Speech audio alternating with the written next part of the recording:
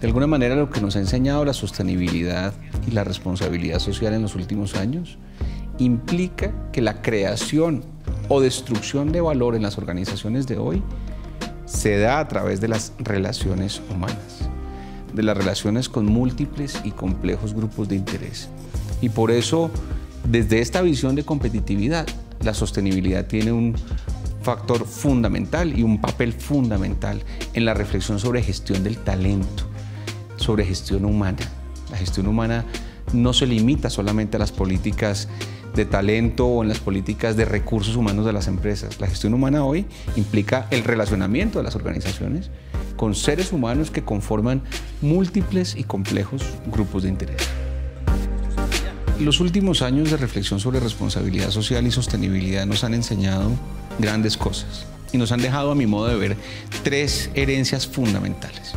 La primera de ellas es que por fin empezamos a comprender que la responsabilidad y la sostenibilidad no son unas apuestas ajenas a la cadena de valor, no son aproximaciones filantrópicas que no tienen nada que ver con el negocio. Son un modelo integral de gestión y esa es la primera herencia.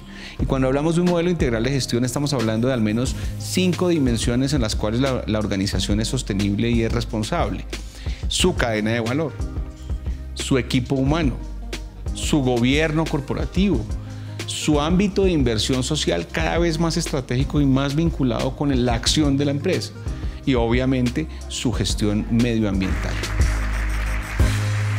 Pero es este auge de la responsabilidad y la reflexión sobre sostenibilidad la que nos permite que hoy ninguna empresa pueda diseñar su estrategia si no teniendo en cuenta las expectativas de múltiples y complejos grupos de interés accionistas y clientes, pero también los trabajadores, los colaboradores. Y la tercera herencia, la comprensión de la sostenibilidad. Ya no solamente como una sostenibilidad desde el punto de vista económico o financiero, ya no solamente como una sostenibilidad desde el punto de vista medioambiental, sino en una triple cuenta de resultados, en una triple lógica de creación de valor de las empresas. Económico, por supuesto, no riñe la sostenibilidad económica con la sostenibilidad social o ambiental.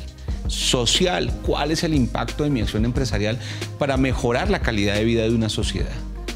Y ambiental, ¿cómo la utilización de los recursos garantiza que la disponibilidad futura de los mismos sea la adecuada para las futuras generaciones? Es un honor estar en Capital Humano. Gracias por esta invitación. Y los invito a todos a visitar nuestra página www.capitalhumano.com y a actuar en nuestras redes sociales Facebook y LinkedIn para promover esta excelente reflexión sobre talento humano, sobre gestión humana y sobre capital humano.